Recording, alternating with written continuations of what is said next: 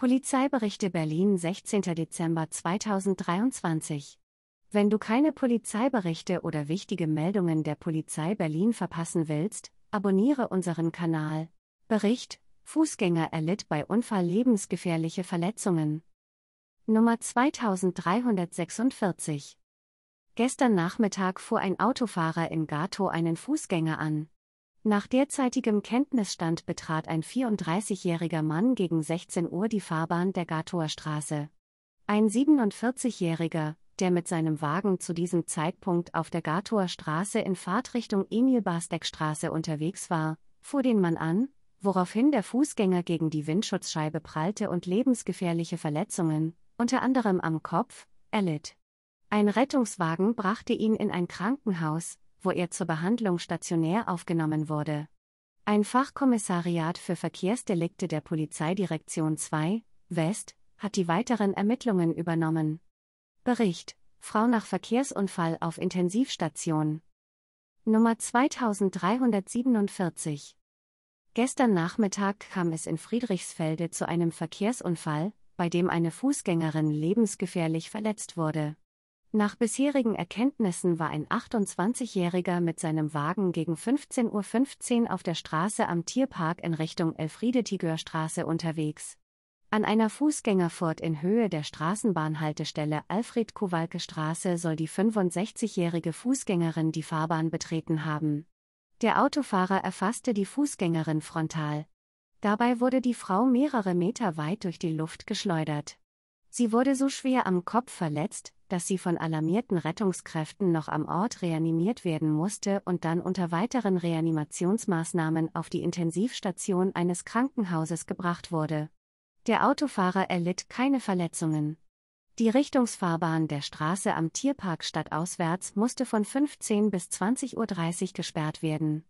Der Straßenbahnverkehr war von der Sperrung nicht betroffen. Ob die Ampel für den Fahrzeugverkehr oder die Fußgängerampel zum Unfallzeitpunkt rot zeigte, ist noch Gegenstand der Ermittlungen, die ein Fachkommissariat für Verkehrsdelikte der Polizeidirektion 3, Ost, führt. Bericht: Kind angefahren. Nummer 2348. Gestern Abend ereignete sich in Marienfelde ein Verkehrsunfall, bei dem ein Junge verletzt wurde. Nach derzeitigem Ermittlungsstand bog ein 68-jähriger Autofahrer gegen 18 Uhr mit seinem Wagen von der Westkammstraße nach rechts in die Hildburghauser Straße ab, als plötzlich ein Ball auf die Straße gerollt sein soll. Unmittelbar danach soll dann ein elfjähriger Junge dem Ball hinterhergerannt sein. Der Mann fuhr das Kind in der Folge mit seinem Wagen an, wodurch es eine Fraktur am Kopf erlitt. Ein alarmierter Rettungswagen brachte den Elfjährigen in ein Krankenhaus, wo er zur Behandlung stationär aufgenommen wurde. Ein Fachkommissariat für Verkehrsdelikte der Polizeidirektion 4, Süd, hat die weiteren Ermittlungen übernommen. Bericht: Autos angezündet. Nummer 2349. Gestern Abend zündeten bisher Unbekannte im Kreuzberg mehrere Fahrzeuge an. Nach bisherigem Kenntnisstand meldeten Anwohner der Waldemarstraße gegen 18.40 Uhr, dass dort um die 20 dunkel gekleidete und vermummte Personen durch die Straße in Richtung Adalbertstraße zogen. Dabei skandierten sie linke Parolen, zündeten Bengalfeuer sowie Pyrotechnik und legten Brandsätze auf die Reifen von insgesamt drei Fahrzeugen. Während zwei Fahrzeuge, ein Mercedes GLE und ein Mercedes CLA, anfingen zu brennen, erlosch der Brandsatz an einem Mercedes C180 von selbst. Einsatzkräfte der Berliner Feuerwehr löschten die Brände an den beiden erstgenannten Autos. Menschen wurden nicht verletzt. Alle Personen entkamen. Der polizeiliche Staatsschutz beim Landeskriminalamt hat die weiteren Ermittlungen übernommen.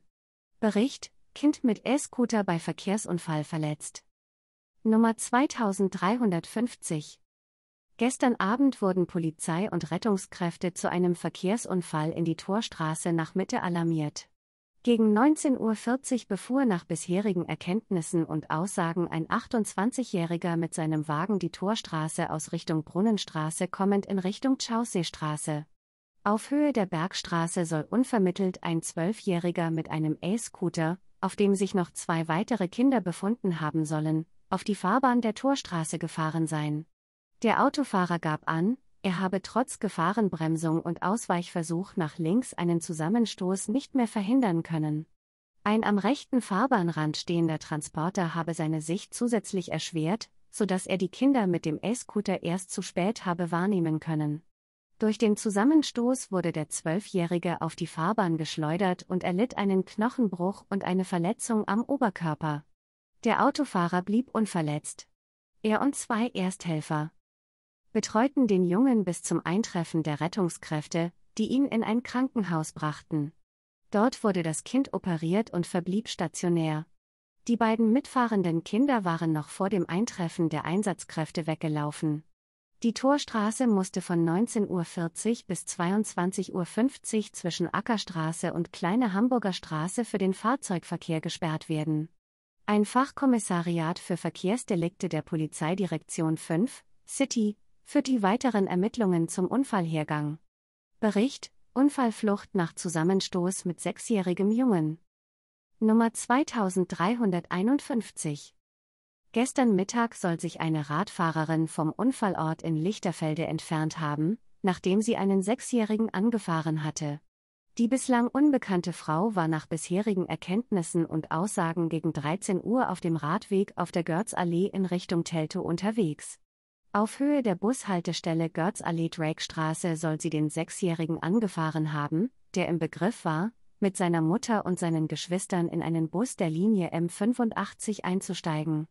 Dabei sollen sowohl der Junge als auch die Radfahrerin gestürzt sein. Letztere soll anschließend ihr Rad aufgehoben haben und weitergefahren sein. Der Kleine wurde von alarmierten Rettungskräften mit Verletzungen am Kopf und am Oberkörper zur stationären Behandlung in ein Krankenhaus gebracht. Lebensgefahr soll nicht bestanden haben. Ein Fachkommissariat für Verkehrsdelikte der Polizeidirektion 4 Süd hat die weiteren Ermittlungen übernommen.